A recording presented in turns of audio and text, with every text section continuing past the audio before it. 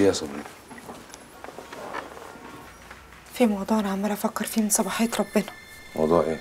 رضا أنا عايزة أرجع الكباريه تاني. كباريه إيه؟ هو أنت مش قلت على جثتي؟ ده في الأول يا رضا.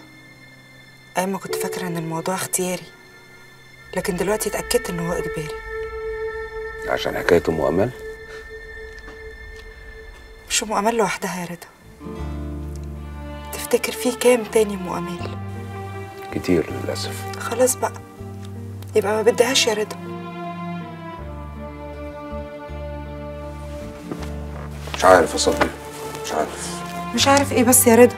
مش انت اللي كنت عايز ترجعني هناك؟ لا أنا كنت بفكر معاكي بصوت عالي. وأنت كان عندك حق. الناس دي مش سهلة يا صبري. وإحنا لو عملنا كده يبقى رايحين ندخل جحر التعابين بنفسنا.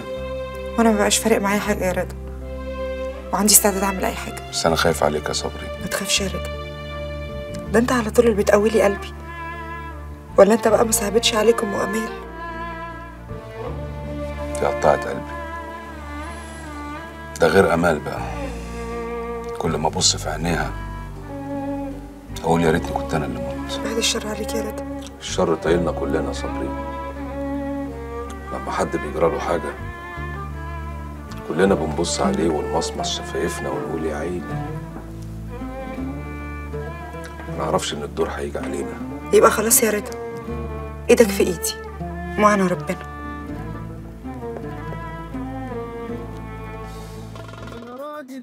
شايف شايف عاطف شايف عمايلها؟ فيلة إيه اللي تروحيها يا صبري؟ وماله بس يا بيه. أنت تخرس خالص. أنت بالذات مش عايز أسمع صوتك. بالهداوه بس يا رضا خلينا نفكر بالراحة. بالراحة إزاي؟ يعني يا صابرين أنت هتجننيني. إذا كنت النهارده كنت هتجنن وإحنا قاعدين في وسط ناس وزحمة وعيني دي ما اتشالتش من عليك. عايز أنا أوافق إنك تروحي معاه الفيلا لوحدكم ليه يعني؟ فاكراني إيه؟ بتغير عليا؟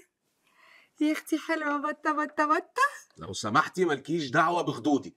اللي انت بتعمليه ده مش هيأثر فيا. أنا أصلا اللي فيا مكفيني. عارف يا رضا؟ أنت لو ما كنتش رميت عليا اليمين ساعة ما قفشتني بغني من وراك في الكباريه أنت كنت قلت قوي من نظري. قوي. هو أنت مش عارفة غلاوتك عندي يا بت ولا إيه؟ والنبي عارف بس قلت أتأكد الأول. إحنا في إيه ولا في إيه؟ ما نخلص بقى. أنا قلت لا يعني لا. يا ابي شكري غادي أنا سألت عنه كويس. ده راجل ما بيثقش في حد ابدا. يعني أكيد لو في أي حاجة بدينه مش هيحطها لا في البيت ولا في المستشفى. أكيد هيبقى مكمرها في الفيلا دي. خلاص. يبقى نشوف أي حل تاني. أنت عارف كويس قوي يا رضا إن مفيش أي حل تاني. وإن لو في حد يقدر يدخل الفيلا دي فالحد ده يبقى أنا وبس. لا يا أختي مش هتبقى انت وبس. هتبقى انت وهو والشيطان تالتكم ده أنتوا هتلاقي الشيطان قاعد هناك إيجار قديم. لا هو ولا الشيطان يقدر عليها. دي المرأة التي غلبت الشيطان. أنا شفتها وهي بتديله بالروسية وسيحت دمه. أهو قال لك أهو.